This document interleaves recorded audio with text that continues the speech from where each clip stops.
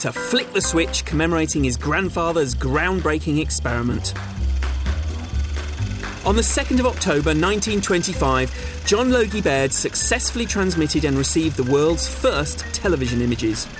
Hey, look at that. There he is. That's really good. After this triumph, Baird went on to achieve a number of other world firsts. The first broadcast between London and Glasgow, and the first transatlantic broadcast to New York. Well, there you go. Logie Baird, smarter than the average bed, of course. You've been waiting for that, Do you know, I tell you, it, all, it amazes me every time I see that. I still can't work out how on earth television works, but uh, here we all are, obviously on television. Yes, strangely. Yes. Um, and tell me about you play the aunt in this, don't you, of this young girl who witnesses a murder, the silence. Um, what was it like playing her? Uh, well, you know, it, it was uh, it was hugely challenging, and we had a terrific director called Dearbhla Walsh, who is really extraordinary. But the most exciting thing was actually watching this pretty much unknown actress, Genevieve Barr, mm-hmm. carry the whole show, and it's very much through her eyes, and incidentally through her ears. But it's it's just extraordinary to watch her. I think she's fantastic. She's There's a a fantastic a- there, actress, yeah. and she she herself is she's severely deaf, isn't she? Yeah, too? she is. I mean, uh, you know, for me, she's an actress first Yeah. who happens to be deaf, mm-hmm. uh, but she's fantastic. Yeah, well, let's have a little look at a clip of your character Maggie, who comes face to face with one of the bad guys, because there's quite a few in it. Um, There are, yeah. But this is this is a moment from tonight's programme. Hooray! Yes, here it comes.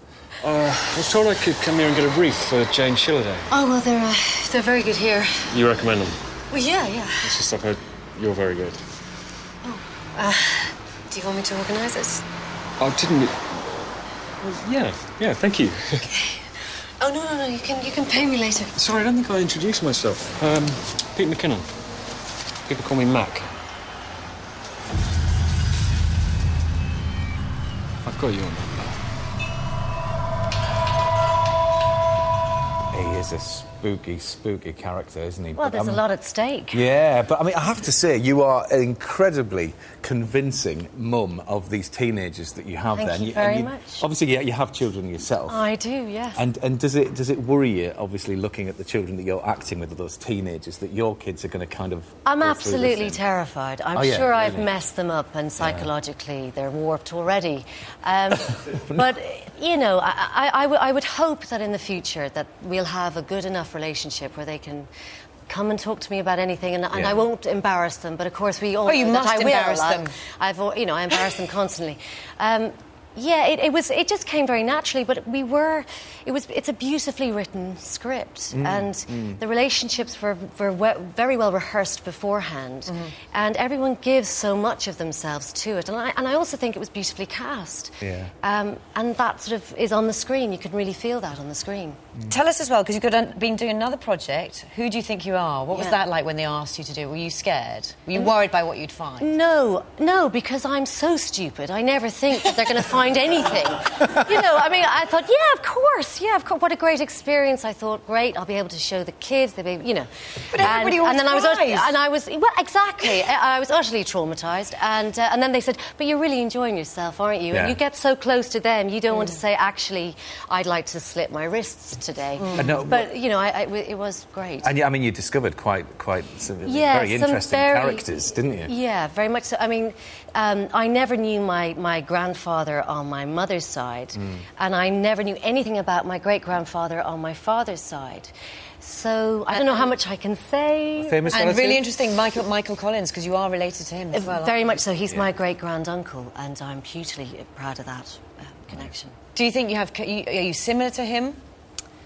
Uh, I, oh God, my God, if I could have been, or if, if I Yes. could be, yes, I would love to. But he's be. famous in Irish history, isn't he? Yeah, well, he's a tremendous political leader and he's an extraordinarily intelligent man. So if I've got even a soupçon of that, I'd be very pleased. And your episode is on August 22nd. the second. second, I yeah, think, Second, second, 2nd. sorry, Yeah, second. Okay, yeah. good. Well, we'll look out for that. Thank as well. you. See. Now, for many men, retirement can be a golden age when they can relax and enjoy the fruits of their working life. For others, however, it can mean living life alone, away from the friends that they built up in the workplace. Yeah, but Dom's met a group of retired men in Cheshire who have discovered a life changing way uh, to combat their loneliness. It is a spot of woodwork and a natter in the local shed. Great.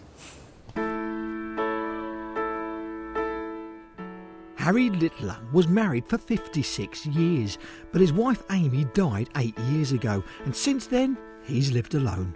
When I was on my own and my wife died, I got very depressed.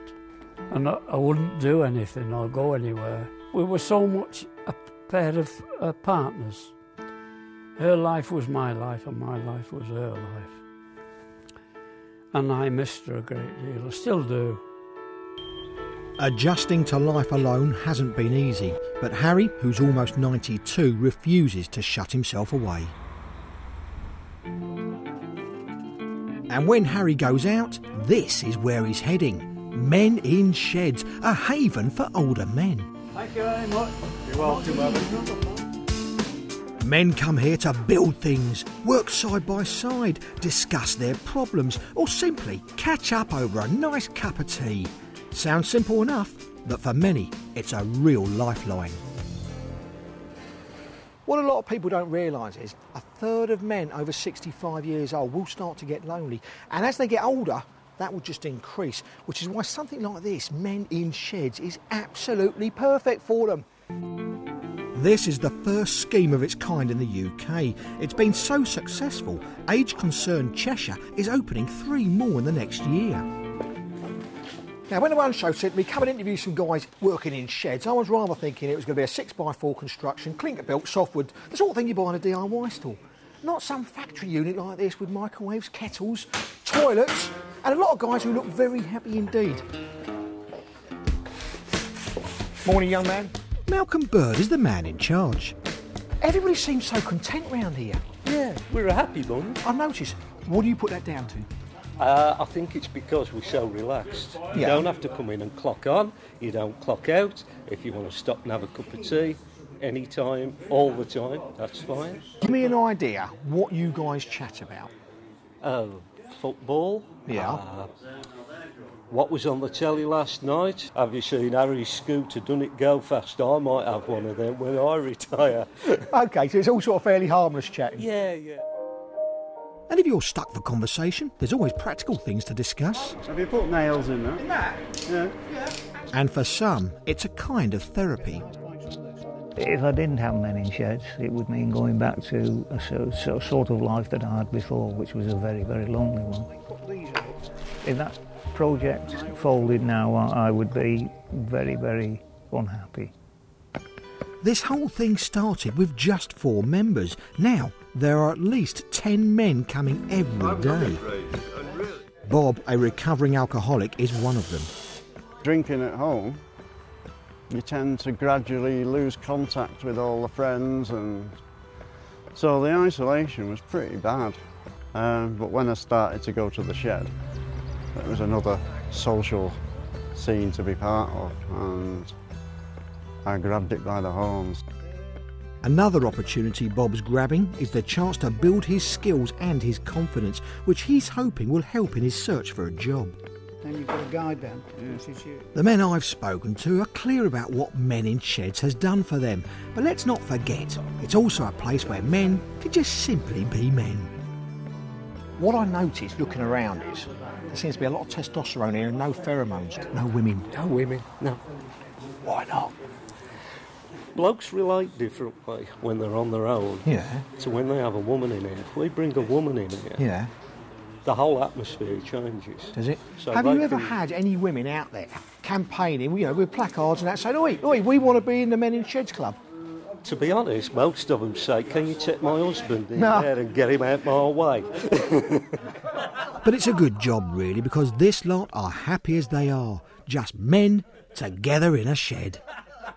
Now, guys, I've got to ask you to all the ladies out there who might be watching this and want to join your club, have you got a message for them? You're not coming in! Brilliant stuff. I tell you, you should have heard the conversation going on during that film between these two, their husbands and their sheds. Yes. Yeah. Her gorgeous husband, Rupert Penry Jones. There we are. Enough about him. Sheds can solve every Yes. problem. Now then, there was more frustration today at Fort BP, who have delayed the testing of a new cap aimed at stopping the gallons of oil gushing into the Gulf of Mexico. The disaster means that energy companies are now, more than ever, looking at green sources of power, such as offshore wind farms. Yeah, but even these have the potential to disturb our wildlife. Mike Dilger has taken to the skies with one of the men who is making sure that wind power doesn't blow our native seabirds away. The seas around our coastline are home to some of the biggest and best seabird populations in the world. And they're tough old birds, living on rough seas and gliding effortlessly on strong winds that would buffet us senseless. But they're not the only ones facing our weather. Increasingly, energy companies are wanting to put more wind turbines out at sea to cash in on our climate. But as that's also where the birds live and feed, that could cause problems. So conservation groups have been doing a spot of blue sky thinking. They've teamed up with energy companies to survey the seabirds and find locations where there's minimal bird activity. Seabirds tend to congregate around good feeding sites and nesting grounds. If a wind farm was built at one of these hotspots, it could devastate that population. So the surveyors are looking for hotspots and clear spots. Mike Shackshaft is an ornithologist from the Wildfowl and Wetlands Trust Consultancy, and he's been taking to the air. We use aeroplanes because it gives us an opportunity to cover a large area in a short space of time so we can get a good snapshot in one day. It also allows us to get into areas of shallow water which boats and people from land might not be able to see. Um, so it just gives us a really good opportunity to get in there. Bearing in mind how fast planes fly, you've got to be really sharp in your identification, haven't you? Yeah, we only have about maybe five seconds to uh, identify these birds, so we have to be get onto them pretty quick. We have to identify them, count how many there are, and also try and work out how far away from the plane they are. At that speed, this is going to be ultimate bird watching, but I'm up for the challenge. Here we go. All systems go. Ready for the takeoff. Let's go birding. The average survey covers 1,200 square kilometres a day. We're heading to the north coast of Wales. I'm used to driving along the A55 on the way to Anglesey. but I've never had this view before. It's a fabulous bird's eye view. Most seabirds tend to fly pretty close to the sea, soaring on the updraft from the waves and looking for fish. Trouble is, these planes don't go slower than 100 miles an hour or lower than 75 metres or 250 feet. So this really is speed twitching, but Mike is right on it. Auk one set A, then uh, Herring Gull one flying in B, uh, Kittiwake one flying in A, then Gannet one flying in A. With less than five seconds to glimpse a bird, there's no time to write anything down, so it all goes on a tape recorder. Fulmar one flying in A, then Auk one flying in B. You're using, obviously, the bird name and A, B, C, and D. What does that mean? Um, whilst we're recording our birds, we try to record how far away from the plane they are so we can map them more accurately. And we put them into four distinct uh, sort of distance bands. A is the area right beneath the plane. B is about 300 metres away, C is around 400 metres, and D is up to a massive one kilometre. Yet Mike can still identify them.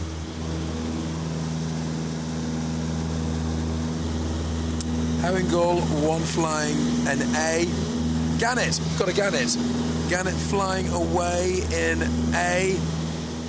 Gannets are big travellers, flying up to 200 miles from one hotspot to another in search of fish. So part of the survey is to identify these routes and add them to the vital list of no-go areas for turbines. Really rich area for seabirds around the Orme. Fantastic. Not the place for turbines. Oh, one greater blackback flying B. I'm getting the hang of this now. When the ornithologists find a clear spot, they continue to check it just to be sure it's safe. And so far, five wind farms have been put up in